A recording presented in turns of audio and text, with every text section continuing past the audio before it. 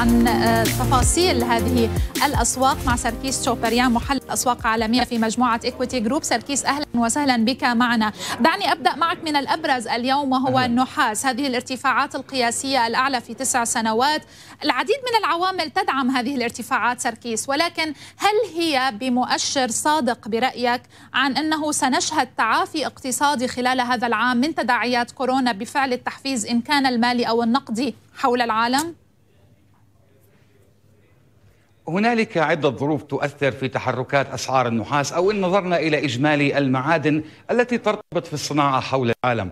فكما تفضلت خلال الفاصل هنالك العديد من الظروف التي حفزت ارتفاع النحاس منها انخفاض متوقع في الطلب العالمي إلى جانب عودة الطلب الصيني بعد موسم العطلات فيها. وفوق كل ذلك هنالك توقعات في تعافي الاقتصاد العالمي خلال الفترة المقبلة.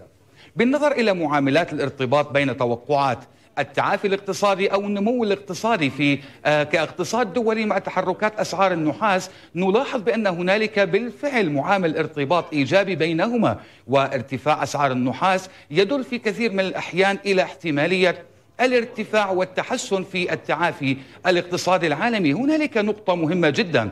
وهي التعافي الاقتصادي العالمي قد يكون منصب تحديدا على القطاعات التصنيعية والصناعة. فالبيانات الاقتصادية التي صدرت خلال الأسبوع الماضي ما زالت تظهر انكماش في قطاع الخدمات في عدة دول عظمى ومنها آه، في منطقة اليورو بريطانيا وغيرها أيضا. لكن بالنظر إلى قطاع التصنيع فقد أظهرت بيانات مؤشرات مدراء المشتريات الأسبوع الماضي للاستمرارية في هذا النمو. وهذا ما يعطي انطباع بأن التعافي الاقتصادي العالمي قد يرتكز على القطاعات التصنيعية نعم. وكذلك الصناعية رغم باعتقادي بأن القطاعات الخدماتية قد تبقى ضعيفة بفعل استمرارية تأثير جائحة كورونا وبالتالي ترتفع أسعار النحاس هنالك موضوع آخر أود الإشارة له بما يخص الارتفاعات الكبيرة لأسعار النحاس نعم. ليصل إلى أعلى مستويات منذ حوالي تسع سنوات وهو موضوع مختص في الطلب المتوقع على أدوات الطاقة النظيفة لإنتاج الكهرباء. صحيح. وهذا موضوع مهم جدا خصوصا مع فوز آه، جو بايدن الذي دعم أكثر فأكثر الاعتماد خلال المستقبل القريب على الطاقة البديلة أو الطاقة النظيفة. ومن المعروف بأن النحاس يستخدم بكثرة للخلايا الشمسية وغيرها من يعني هذه الاستخدامات وبالتالي من المحتمل يعني الملفت بما أنك عم تتحدث نعم. عن موضوع الطاقة النظيفة والاستثمارات الخضراء بوجود الإدارة الأمريكية بقياده جو بايدن بأنه على الرغم من ذلك النفط عم بيتداول بالقرب من 64 دولار وجولدمان ساكس يتوقع أن يصل لفوق مستويات ال 70 دولار، إلى أي مدى ترى بأن هذه التوقعات منطقية سواء بالنظر لأساسيات السوق النفطي أو حتى بما ذكرته تجاه آه، التوجه بشكل أكبر نحو الطاقة النظيفة؟ عندما نتحدث عن النفط تحديدا فهو مشابه أيضا لتوقعات التعافي في الطلب العالمي.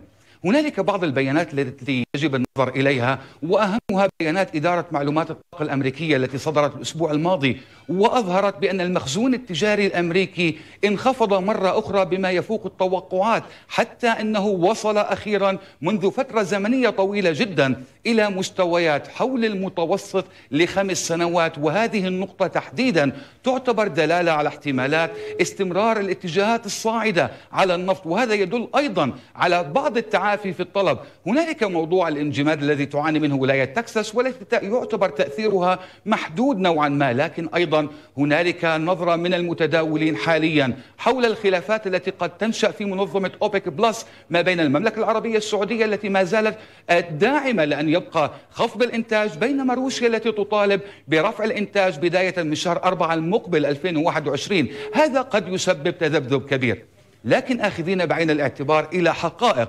انخفاض عدد الإصابات اليومية بفيروس كورونا بشكل عام آه، بحسب موقع ووردوميتر.